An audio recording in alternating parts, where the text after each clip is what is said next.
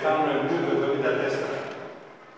Ό,τι σας πω τώρα δεν τα έχω γράψει σε καμιά κόλλα χαρτί. Τα φυλάω μέσα στην καρδιά μου εδώ και 44 χρόνια. Ο Κέντρας ο Κωνσταντίνος που γεννήθηκε σε αυτή τη γη είχε ψυχή, είχε αγρία, είχε θάρρος. Προσπαθούσε τις δύσκολες ώρες του 1974 του καλοκαιριού να μας εμψυχώσει, να κρατήσουμε άμυνα γερή στους Τούρκους. 44 χρόνια ξεχάστηκε ο Κέντρας ο Κώστας. Μαζί και οι 318 που υπερασπίστηκαν το στρατόπεδο της Ελδίκ και είχαν απέναντί τους 7.000 Τούρκους. Ήμασταν 318 στρατιώτες. Με τον αντισυνταγματάρχη Παναγιώτη Σταυρουλόπουλο και τον λοχαγό τον Ιωαννίδη τον Λούι και τον Σταυριανάκο που μας αφήσανε μέσα για να πεθάνουμε μέχρι ενός. Δεν έπρεπε να γλιτώσει κανείς. Κανείς δεν έπρεπε να γλιτώσει. Όσοι σωθήκαν το οφείλουμε στο Θεό και στον Παναγιώτη Σταυρουλόπουλο διότι κυκλωθήκαμε. Πρέπει οι νεότεροι να μάθετε την αλήθεια ποια ήταν. Ήμασταν αποδομένοι, εγκατελειμμένοι να πεθάνουμε μέχρι ενός. Δεν έπρεπε να μείνει ούτε ένας. Με το Ο Κέντρας ο Κώστας ένα βράδυ έξω από το, την εκκλησία του Αγίου Γεωργίου του στρατοπέδου Σερδίκ κάναμε μια συγκέντρωση και ζήτησε ο διοικητής να βγουν εθελοντές στρατιώτες έξω για να βγουν δύο ομάδες, να πάνε μπροστά, έξω από το στρατόπεδο, αριστερά και δεξιά. μία ομάδα ήταν με τον Γέδρα τον Κώστα. Σε αυτή την ομάδα έκανα ένα βήμα μπροστά και πήγα μαζί του. Στην άλλη ομάδα που ήταν από το Λοχαγό Αρώνη πήγανε μια άλλη ομάδα. Βγήκαμε έξω το στρατόπεδο γύρω στα 300-400 μέτρα. Πήραμε θέσεις μάχης και μετά από λίγη ώρα άρχισαν να έρχονται Τούρκοι ακροβολισμένοι επάνω μας. Δίνουμε σήμα πίσω, λέει δεν θα τους πειράξετε. Εμείς τι να κάνουμε, περιμέναμε. Ο Κέδρας ο Κώστας μας λέει θα περιμένετε, δεν θα κάνετε τίποτα. Ξανα... Αυτοί προχωράνε πάνω μας από τη μεριά, από την ομάδα του Λοχαγού, είχαν πλησιάσει στα 50 μέτρα. Δεν άντεξε ο Λοχαγός και άνοιξε πύρη.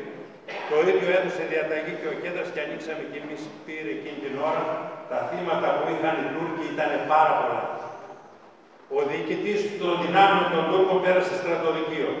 Άλλοι δύο διοικητές των τουρκικών δυνάμεων σκοτώθηκαν. Εμείς κάναμε αυτό που έπρεπε να κάνουμε. Η πολιτική μας όλα αυτά τα χρόνια είναι, μας έχουν ξεχάσει, μας έχουν διαγράψει και είναι μια μαύρη σελίδα για όλους αυτούς που πέρασαν μέχρι σήμερα. Είναι ντροπή για όσους κυβέρνησαν αυτή τη χώρα να ξεχάσουν αυτά τα 318 και τα παλικάρια και τους 20-30 αξιωματικούς. Θέλω να, θέλω να σας ευχαριστήσω όλους εδώ και ιδιαίτερα τους έως να μην μας ξεχάσετε. Εμείς ένα-ένα σιγά σιγά φεύγουμε. Είμαι, είμαι 66 χρονών. Σιγά σιγά θα φύγουμε από αυτόν τον τόπο. Αλλά οι νεότεροι να θυμούνται. Να μην ξεχάσουν αυτό το τέκνο που γέννησε αυτά, αυτά τα κόμματα εδώ πέρα, το κέντρο του Κώστα, ότι έκανε μια τεράστια δουλειά εκεί κάτω. Είχα τη τιμή και τη χαρά να τον γνωρίσω από κοντά και σε καιρό ειρήνης και έγκαιρο πολέμου. Ήταν ένας άριστος άνθρωπος, ένας άριστος αξιωματικός. Αντιπαστική τον γνώρισα και αυτόν και τον Παπαλάμο. Σήμερα ο Κώστας ο Κέντρας δεν είχε ανάγκη ούτε από παράσημο ούτε από πλακέτες. Ήθελε μόνο να, να, να μας βοηθήσουν να δούμε αεροπλάνα δικά μας. Να δούμε ενισχύσεις δικές μας. Δεν είχαμε τίποτα. Μόνο πολυβόλα και εθνή. Τα οποία τα πήραμε παράνομα, σπάσαμε τις πόρτες και τα μάθαμε. Λύση αρμολόγηση μέσα σε ένα λεπτό. Για να κρατήσουμε τις θέσεις μας και το στρατόπεδο. Αλλά αυτοί που δώσαν διαταγή, τον Παναγιώτη Σταυρουλόπουλο και δυο-τρει αξιωματικούς με 318 να κρατήσουν να υπερασπιστούν το στρατόπεδο της Ερδίκ, τους είχαν διαγράψει. Τους είχαν διαγραμμένους από τη ζωή. Ήταν καταδικασμένοι θάνατο.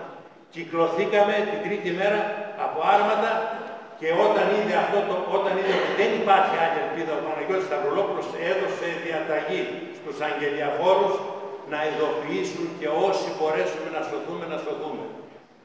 16 Αυγούστου, 2,5 ώρα, 3 παρα 25, στην είσοδο του στρατοπέδου της Ελδίκης συνάντησα τον αντισυνταγματάρη Στραβολόπουλο μέσα στο τζιπ με τον οδηγό του. Ήταν εκεί μπροστά και περίμενε αυτούς που βγαίνουν από το στρατόπεδο. και όταν ζήτησα να μου δώσει ένα πιο νερό να μου και μου έδωσε και οδηγίες και στη συνέχεια παρέμεινε εκεί για να βοηθήσει κι άλλους στρατιώτες να βγουν. Αν δεν ήταν αυτός, ήμασταν τελειωμένοι. Αν καθυστερούσαμε ακόμα μισή ώρα, δεν υπήρχε περίπτωση να βγει ούτε ένας έξω. Θέλω να σας ευχαριστήσω. Πρώτη φορά ήρθα σε αυτή την περιοχή, πρώτη φορά δεν πίστευα ότι θα έρθω στο μνημόσυνο του φίλου μου, αγωνιστή και πατριώτη Κωνσταντίνου Κέντρα. Σας ευχαριστώ όλους από την καρδιά μου, δεν θα σας ξεχάσω. Ζήτω!